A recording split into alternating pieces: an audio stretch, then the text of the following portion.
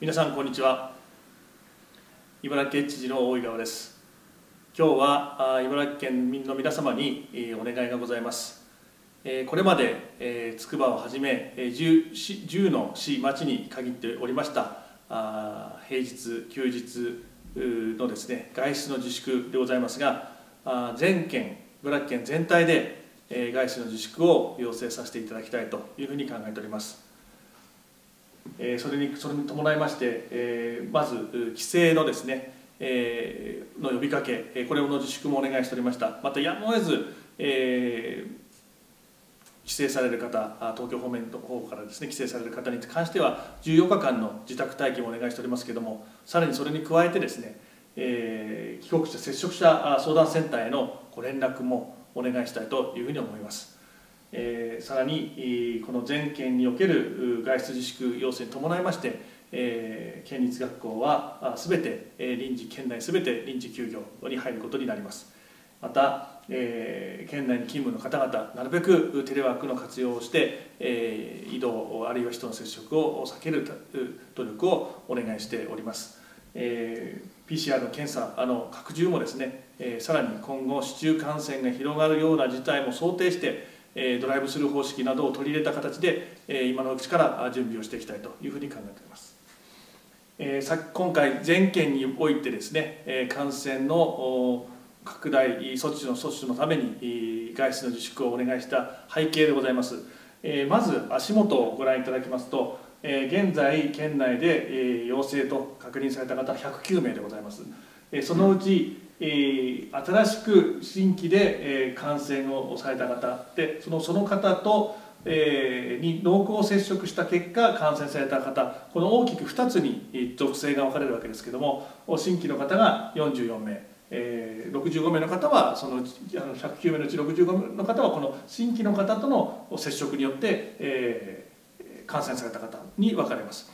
これをですね、えー時期ごとに追いて追追いかけていきますと皆さんの全体の総数はですねこの、えークラスターと言われるその濃厚接触者が大量に感染するような状況が始まると非常に、えーあの総数としては多くなったりするんですけどもこの新規の数ですね新規に感染されている方が見つかっている数というのは大体5前後それから10多くても10以下で抑えられてきております。ということで、えー現在のところですね茨城県内市中感染が広がっているとかあ感染経路のわからない人たちがあどんどん感染あの発生しているとかということではございません。安定した状況にあると思います、えーしかしながらですね次のページをご覧いただきますと、えーこの感染者の数3月31日に比べてですね4月12日にはこれだけ全県に広がっております。え最初は南の方一部ちょっと県央の方にございますけど南の方を中心だったんですが、え現在では、えー県北も含めてですねかなり広い範囲で、え感染が確認されております。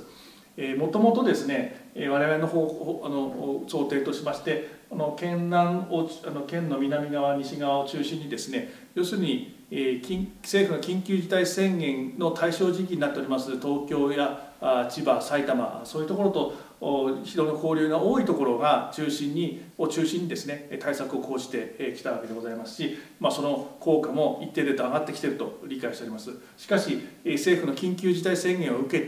てそこにいらっしゃる方々があの緊急事態宣言対象地域の外にですね例えば帰省であるとか例えば観光であるとかあるいは夜の歓楽街のお規制対象地域の外の夜の歓楽街に移るとかそういう移動がですね非常に増えてきているというふうに考えざるを得ないというふうに我々認識しております。えー何件かは、えー東京方面から帰省された方が原因で感染が広がったでまたこの週末にかけてですね、えーまあえーパチンコであるとかの遊興施設でありますとかあるいはその観光地であるあるとか、まあ、そういうところにですね、えー緊急事態宣言対象地域の方々が、まあまあ、お車のナンバーなんかから判断するにですねあのたくさん、えーいらしているということがあ報告されております。まあ、そういう状況で今は今までとでありましたらですね、えー通勤通学を中心に人の交流を考えて、えーおればよかったわけですけども政府の緊急事態宣言、えーとまあ、厳しいえ外出自粛という宣あの状況を受けてですねそういう地域の方々が今までと違った形でこの茨城県にいらっしゃるケースが今後増えるであろうと想定しますしその感染者の経路なんかも今後、えー、そういうことを物が今までの感染者の経路もそういうこと物語る例が出てきておりますので今回全県に外出の自粛を要請させていただきました。これに伴いましてですね県の施設でもまた休館するものを追加をさせていただきますこれまでオープンスペースのところについては県県内の方々の利用をある程度前提にしてですねあの規制はして閉館はしてきませんでしたけれども例えば竜神大吊り橋でありますとか海学園でありますとか袋田の滝の関白台等ですね、えー、本来であればあの規制する必要必要性はあのそんなに大きくないと今までは考えてたんですけども、まあ、こういう施設がですね今あの緊急事態宣言対象地域の、まあ、東京であるとか千葉であるとか埼玉県である方の方々を引き継げる可能性が大きくなってきているということもありまして野外でありますがこういう施設も制限させていただく休園休館させていただきたいというふうに考えています。えーまあ、その他宇野岬の宿泊施設等についてもですね東京方面からのお客様の予約を,、おおお断りをさせていただくようなそういう体制に取ろうということに体制を取ろうということになっております。えー、さらにもう一つですねえー、毎年あのなあの法律で決まっておりまして、えー、何年かにいっぱい、えー、必ず行われます、えー、コンビナートにあるそのいろんなプラントのですね、えー、定期修繕でございます、えー、実は今年の4月20日からあ3か月程度ですね、え、大規模な定期修繕が鹿島東部コンビナートで予定されておりました、え、ピークでは9000人ほどの方々が県内外から集まるということでございますが現在の過密を中心とした感染の広がりそれから緊急事態宣言を踏まえてですね外部の県外の県外からたくさんの方が集まって作業することに対してですね地元を含めて非常にあの懸念が広がっておりました。今回ですね政府あるいはそのこのコンビナート関係企業ともさまざま相談をさせていただいた結果以下のような次のような措置を今回取ることに合意をさせていただきました。一つはですねこの定期修繕の開始の開始時期の延長でございます。もともと4月20日とスタートということで、えー、全て日程があ組まれてたわけでございますけれども、えー、政府の法令の、まあ、例外的な適用をですね、えー、をもう含めてですね、えー、この時期を5月の12日いわゆる緊急事態宣言が5月6日でございますがその後まで、え伸ばしていただいたということでございます。それからあ実施にあたってもですね水際対策を徹底するということで、え合意をいたしました。えー、全ての作業員の方もう2週間前から健康状態や行動記録を全て、えー、記録しておいてもらって、えー、トラッキングできるように記録しておいていただいてその確認を行うと。でその確認される行動記録健康状態を踏まえてですね事前に医師の問診を受けていただいて感染の疑いの恐れがないと確認された場合のみ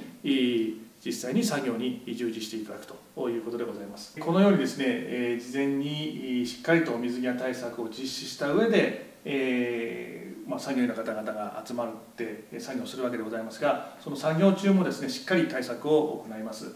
まずそもそも日々の作業健康状況それから行動状況をしっかりと記録していただいてトラックトラックができるような形にしていただきます。でもし仮に風邪のような症状がある場合はですねすぐ作業をさせずにですね報告いただくというような体制をとります。またあの作業員の方々と市民の方々との感染防止、まあ、そういうとあの感染防止するためにですね食事の際の間隔を空けるとかあるいはあ宿泊場所からあ、まあ、あの作業の現場に移動する際は公共の交通機関を利用せずに専用のバスを使うとかの対策を徹底しますさらにその夜間の不要不急の外出、まあ、特にその接客を伴うような飲食店への利用というのなどもですね、えー、感染の温床になりますので、えー、そこへのそういうそういう外出はですね、えー、全て厳しく自粛していただくと徹底していただくということになっております。またあの、えー、発熱や感染者特有の症状がある方が出た場合はですね、えー、すぐ、えー、帰国者接触者相談センターにご連絡いただくと。PCR 検査の結果その陽性があの明らかになった場合はですね直ちに作業を中断して、えー、速やかに報告いただくということで、えー、対策をしっかりとって、えー、作業員の方々もあの県民あの地元の方々県民の方々も安心してですねこの天気自然のを見守ることができるような形にを取っていきたいというふうに考えております。以上新しい県のコロナウイルス感染症の対策でございます。皆様にはさまざまご不便をおかけすると思いますが大変、え今重要な局面になっておりますご支援とご協力のほどよろしくお願いいたします